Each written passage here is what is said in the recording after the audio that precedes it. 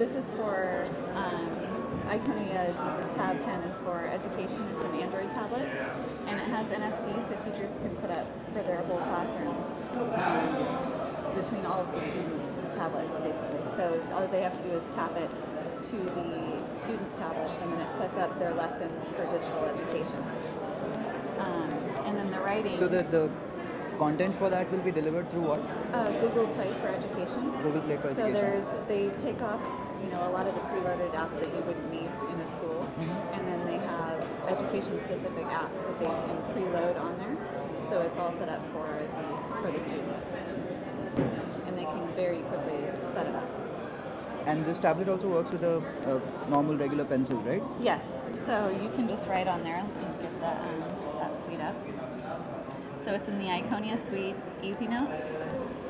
And then you can, let me clear this page here. And it's very touch responsive, so you can see it just.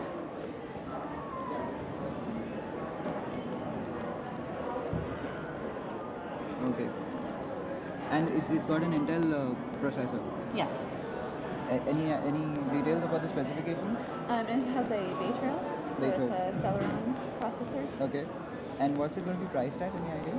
Um, that I do need to check on. I know it's for uh, for back to school, but I'm not sure the exact price point that we're doing for education. But it's would need to most likely uh, subsidized. Yeah. Yeah. Thanks, Andrea. Thanks.